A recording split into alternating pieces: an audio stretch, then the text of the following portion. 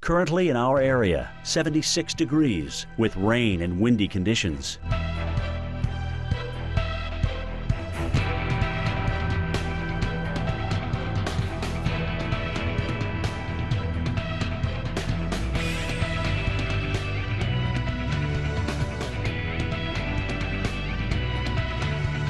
Today, tropical storm conditions likely. Windy with heavy thunderstorms. High 80. Rainfall may A reach flash one flood inch. warning has been issued for our area. Tonight, mostly clear. Low 72. Winds southwest at 10 to 15 miles per hour. Here's our seven day outlook.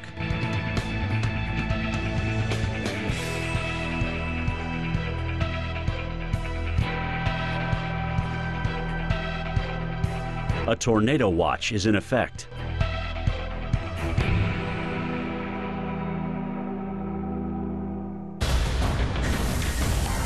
We are continuing to follow updates out of Bertie County, North Carolina. Look at this devastating scene. This is just heartbreaking. This happened overnight when an apparent tornado touched down in a mobile home park, and you can see widespread devastation. At least 10 mobile homes were completely destroyed. And you can see just the widespread destruction, all the debris just strewn about in this area, large trees down as well, as you can see right here. And actually, if you look at at this view of the damage and that tree, and you can see it's not just the tree blown over, but you can see how branches were broken off and some of the needles broken off as well. Uh, zooming down into this, you can see someone down there looking through some of the rubble. Unfortunately, one person died. There are still people missing. And no doubt homeowners in the area would like to get back into this region and, and, check on their belongings as well. I don't know what they're looking for right here, but unfortunately, with some people still missing, that is a possibility several people who are, are there. You can see uh, another person there wearing the black shirt trying to walk very carefully, others in the yellow shirts as well, trying to walk very carefully through this debris, lifting it up, seeing what's underneath, and they may very well be looking to make A sure flash flood warning has been issued for our area. in this area. Just a terrifying night. This did come in during the overnight. This is in eastern North Carolina. This is in Bertie County, North Carolina. Uh, it's the town of Windsor, right around the Morning Road area. And we saw as the storm just raced inland after it made landfall uh, along this one in particular band, one of the outer bands. There were numerous reports of tornadoes. It was a very busy uh, overnight with tornado warnings. Unfortunately, this is the damage that one of them did. The Weather Service will be out to confirm that indeed it was a tornado and that, you know, how strong was it? They'll make that assessment based on the damage that was done here in this area.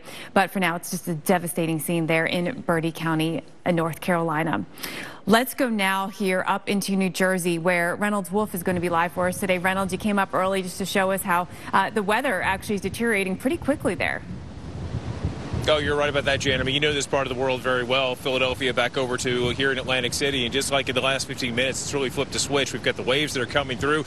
We got trouble out to our east with a special marine statement. To our west, we've got tornado trouble. And of course, Jan, you were talking about the issues we have down in the Carolinas. What a terrifying, terrifying situation. Still, the trouble is not done just yet. You see the ocean just awash coming here right along Steel Pier, challenging these girders as it comes in one after another. Waves today expected to rise up to about 10 feet or higher. So you've got this aquatic battering ram that just seems like it's relentless, like it's never going to stop. That is the view you have of the pier. But if we cast our eyes a bit more towards the south, you actually see the future. The future, of course, being Isaias. Now, with Isaias, a couple things you need to know about the system. Again, bringing tornado trouble with it. There's the prospect of some flooding. You see the water that's coming up right here on the shoreline. Had a gentleman come up just a few moments ago and ask how high is this going to go? Could be another one to two feet. A flash flood warning has been issued for our area. Consider what's happened back along the intercoastal, Little Egg Harbor.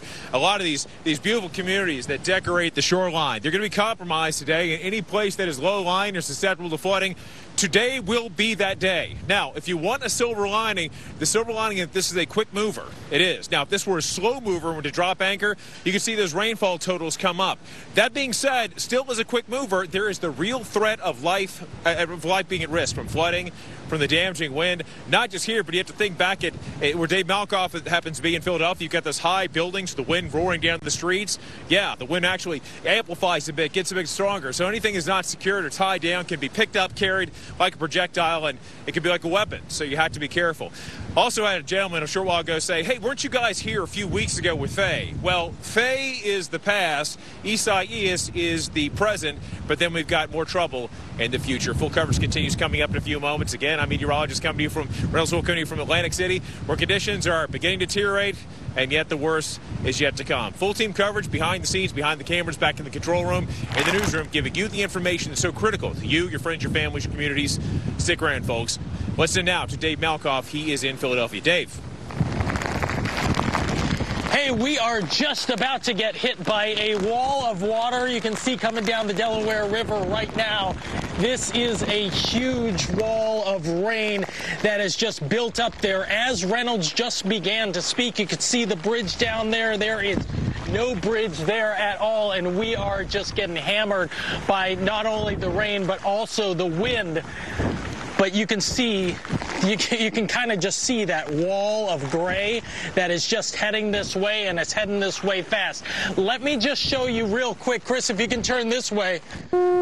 A flash flood warning has been issued for our area. Show you over here as we go towards Center City, as we have just about one minute left you can see how this is several pieces of the storm that are over there down the Delaware River, but then there is another piece of the storm that is right over Center City. So you can see that wall of gray back there, and that is just pouring there. Right now we are in a lot of rain, but not as much as we will have in just a couple seconds. So we're going to take a short break right here, and then we'll come back with live team coverage coverage of Isaias on the Weather Channel. Stick with us. I didn't order a pizza. I know.